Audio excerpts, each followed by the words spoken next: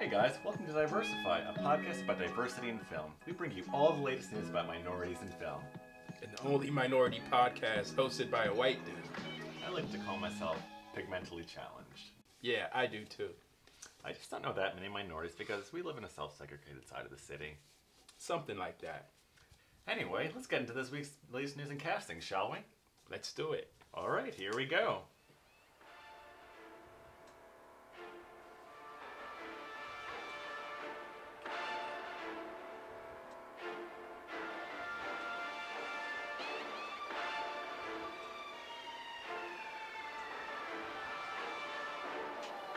All right, and tune in next week to Diversify for all the latest news about minorities in the movies. You can watch Cinephallic and all our other great shows on the Infinite Union, only on YouTube.